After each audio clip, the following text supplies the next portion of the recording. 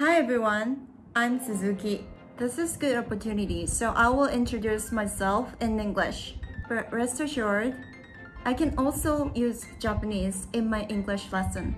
I've been teaching English for more than 12 years, with four of these years in Singapore and the remaining in Japan. Now I am back to working as an English teacher in a school in Japan. Let me tell you the most important thing to improve English.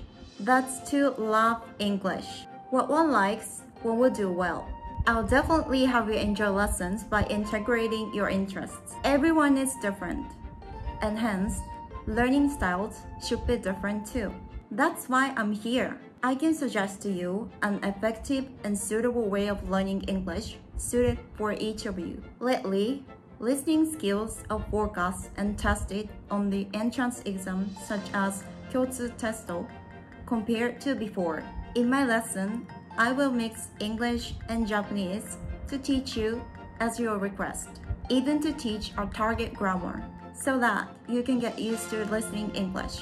These fun methods give you more opportunities to practice English, and it will eventually increase your exam scores as well. Because the more you practice, the better you will get at it. Let me help you with achieving your goal. Hope to see you soon.